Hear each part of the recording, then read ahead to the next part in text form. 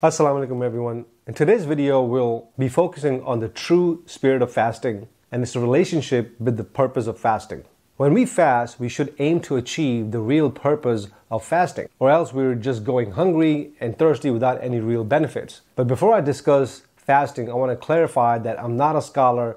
I'm simply a student who's learning alongside you guys. I'm making these videos especially for those who understand and connect with Quran better in English so I want to bridge the gap and help people learn about the Quran in a way that makes sense for them. So now, how can we understand the true meaning and purpose of fasting? First, let's back up a little and talk about the concept of worship and how it relates to fasting. In Surah Dariyah, verse 56 of Quran, Allah says that He created humans and jinns to worship Him. And what does worship mean? It means to submit. So when we submit to God, we find ourselves obedient to the greatness, power, and authority of God. We consider ourselves His slaves. We feel small and humble, and when we think of God's greatness, and it makes us realize that God has given us everything we have and everything we will ever have. So, as a result, all of our hopes, fears, and desires are attached to God, and worship becomes more meaningful. It's not just a ritual anymore. So, we thank God, we praise Him,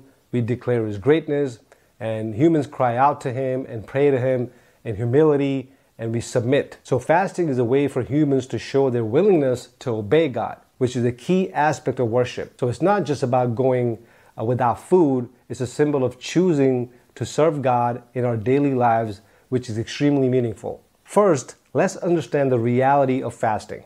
And what's the point behind fasting? Well, the reality of fasting is all about being obedient to God. It's a way for us to show our devotion and commitment to Him. And the second thing is the purpose of fasting, which is to increase our piety, uh, taqwa, which basically means being mindful of God and doing what's right. The third thing is the wisdom behind fasting, is to help us develop gratitude and remember the afterlife that is waiting for us when we die. All of this stuff comes from Quran, which is like a guidebook for how to live a good life. It tells us that Ramadan is the month when we read Quran, and it was also revealed in the month of Ramadan.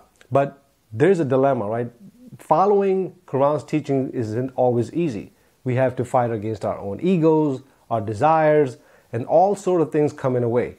But it's worth it at the end because we are doing it for God and for our own benefit at the end.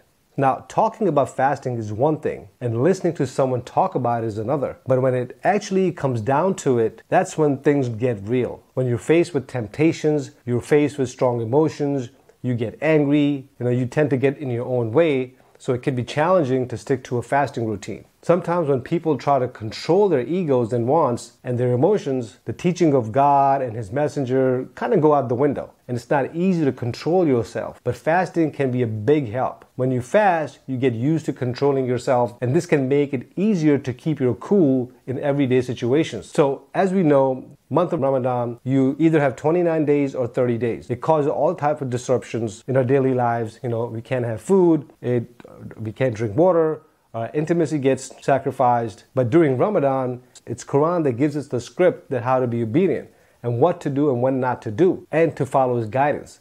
The goal of taqwa is obedience. It's about respecting God and passing the test to avoid punishment and gain honor with God. Taqwa involves determination, seriousness, and you become more careful. That's what taqwa is all about. So that's the first part of taqwa. Now let's talk about the second part of taqwa. When a person becomes serious, they will understand the dangers and will refrain from recklessness. In other words, they'll practice caution. And the third thing is the outcome, which is a person will be saved from the failure in the afterlife and the fire of hell and the shocks of judgment day. So we need to start with these two things. And the third thing is the result of that. Now let's talk about how fasting generates taqwa, which is again the feeling of seriousness about our state. When we fast, we feel hungry and thirsty, which reminds us of how much we rely on food and water. This helps us learn self control, which is like being able to tell ourselves no when we want something. Fasting becomes a way for us to connect with God to show our submission to God. It helps us appreciate not just our physical needs, but also our spiritual and moral values. This makes us more pious and devoted to God. Being obedient to God is not an easy task. It needs us to be strong and have self control.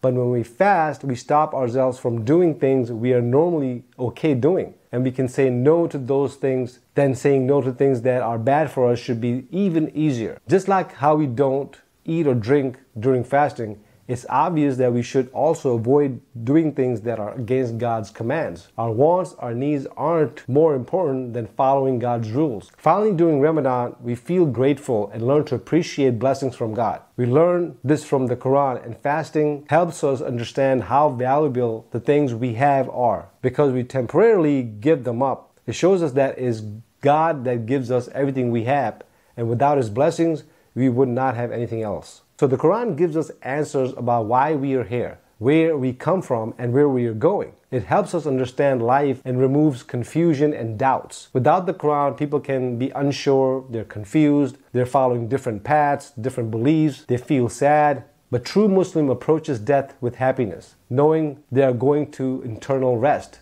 The Quran is like a treasure map that leads us to paradise, where we can find happiness, peace, and joy.